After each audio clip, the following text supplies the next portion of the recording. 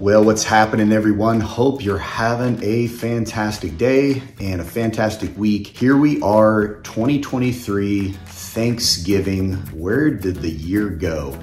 It's Thanksgiving week and wanted to just hop on and talk about Thanksgiving and just being grateful and thankful. You know, Thanksgiving is not just a moment on the calendar, but it is a state of mind, it is a lifestyle, it is something that we should live in every day of our lives, but it is a Memorial Day. It is a day that we celebrate as a nation and get together with family and we break bread, talk about the things that we're grateful for and thankful for. So I wanted to challenge you today. It doesn't matter how great you've had it in your life or how bad you would say you have it in your life right now. There is something to be grateful for. You know, a lot of times when things are not going so well, it's hard to lose sight of the things that we are grateful for, the things that are going well in our lives, whether it's our health or whether it's our family. You know, this year it's been a, a whirlwind for me. Um, lots of uh, huge family events. My daughter going to school, my other daughter getting married, buying a house. She's expecting I'm going to be a granddad going into 2024. So there's a, a ton to be grateful for, right?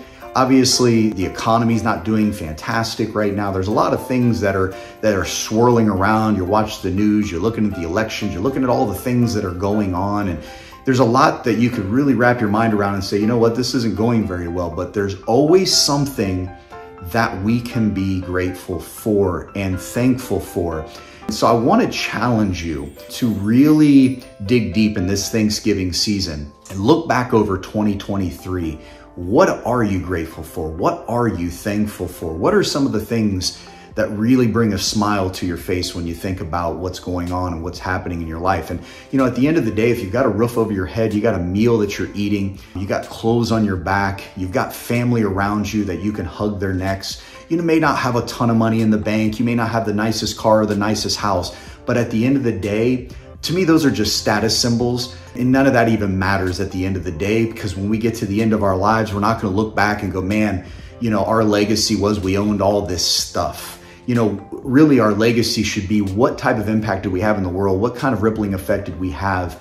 In that next generation or the people around us, our friends or family or whatever the case may be, and literally having what I would call a purpose, you know, just showing up every day and having an impact somehow, some way in somebody else's life, whether it's just being a friend, whether it's just being there to listen, whatever that may be. But don't always look at the things you have or don't have to determine something that you should be grateful or thankful for you know, at the end of the day, again, if you have breath in your body, you know, as I've always said, man, when you wake up uh, with one more day, that's something to be thankful for because there's many people in the world that wake up today, many people in the world that are no longer living on this planet. And so you have something to be grateful and to thankful for. So as we approach this Thanksgiving season, as you sit around a table with your family, eating great food and having great fellowship. I just want you to take some time, whether you do it silently or whether you do it public, it doesn't matter.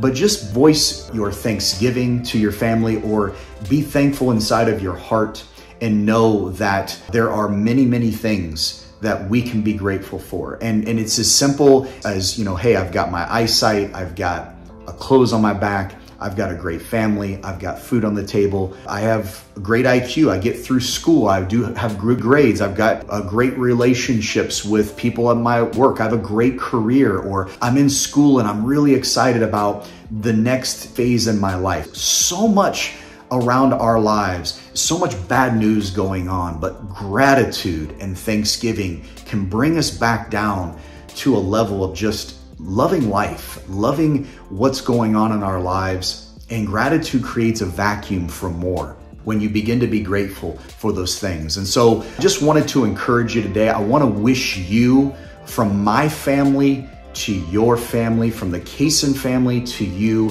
whether you've been a client of mine, whether you have been a real estate agent I've worked with, a builder, financial planner, an attorney, uh, whether it's uh, a client's friends and family of clients, whether you're a friend that we've crossed paths over the years, I want to wish you a happy Thanksgiving. I hope you have the best day or the best Thanksgiving you've ever had.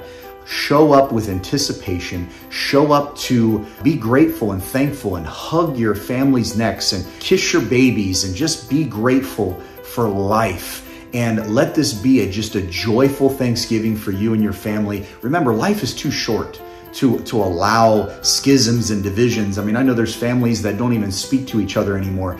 Let this be a time of reconciliation. Let this be a time where you reconnect with those folks and tell them that you love them and that we don't let silly things come between us because most of that stuff is extremely silly and, and just let them know that you're grateful for them, that you're thankful for them. Having a journal helps you with gratitude. Waking up every morning, maybe part of a morning routine that we talked about a couple weeks ago, where you write down three things that you're grateful for. Getting in a state of gratitude sets you up and really brings joy into your life and it allows you to track things in your life as well.